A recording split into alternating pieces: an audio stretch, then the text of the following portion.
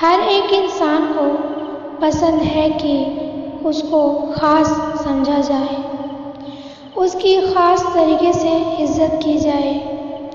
उसका नाम ख़ास लोगों में लिया जाए।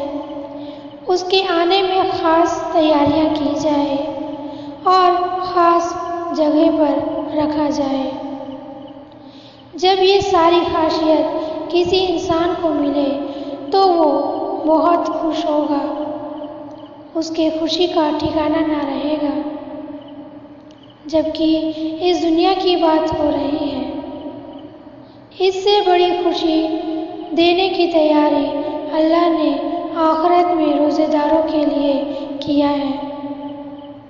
जहाँ पर सौ नहीं, हज़ार नहीं, लाख नहीं, करोड़ नहीं, अरब खरब नहीं, हम गिन नहीं सकते, वहाँ इतनी भीड़ होगी।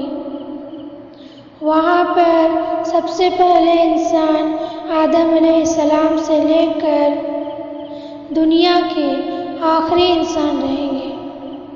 और जिन भी होंगे, फरिश्ते भी होंगे।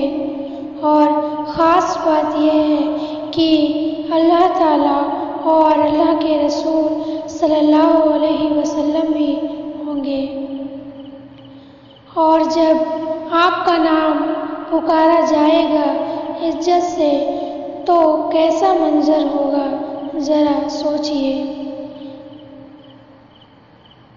नबी करीम सल्लल्लाहु अलैहि वसल्लम ने फरमाया, जन्नत का एक दरवाज़ा है, जिसका नाम रेहान है।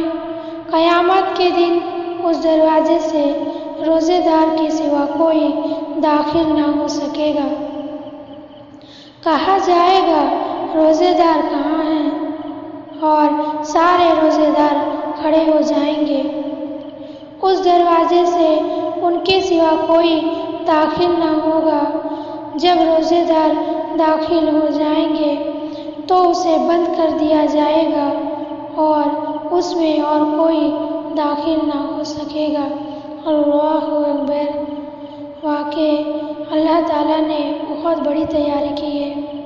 अल्लाह ने ऐसी ख़ास तैयारी की है रोज़ेदारों के लिए। तो सारे रोज़ेदार भी अपनी तैयारियाँ रखें क़यामत के ख़ास इज़्ज़त को पाने के लिए।